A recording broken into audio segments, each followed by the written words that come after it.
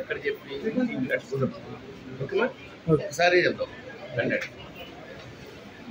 ఇలా చెప్పుకోవడం లేదు లేదు పక్కకు పెట్టు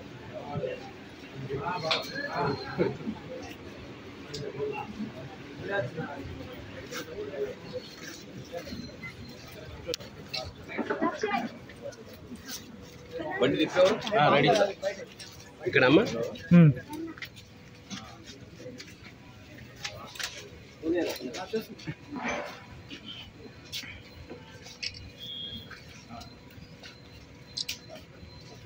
చంద్రమోహన్ గారు వెయ్యనటువంటి వేషం కానీ వెయ్యలేనటువంటి వేషం కానీ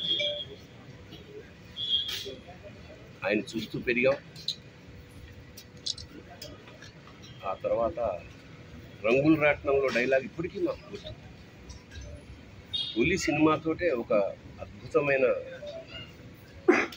చిత్రరంగ ప్రవేశాన్ని చేసి ఇన్నేళ్ళ పాటు ఆయన నటించిన సినిమాలు ఏమన్నా ఫీల్ అయ్యి ఉండొచ్చేమో కానీ ఆయన మాత్రం యాక్టర్గా ఎక్కువ సినిమా దట్స్ వండర్ఫుల్ చంద్రమోహన్ గారు.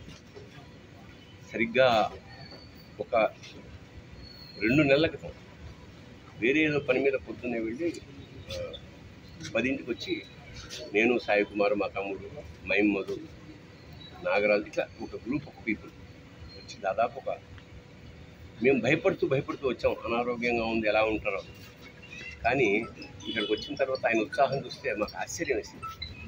చివరి నిమిషం వరకు అంత జీవనోత్సాహంతో ఉన్నారు చంద్రమోహన్. చాలా గొప్ప విషయం.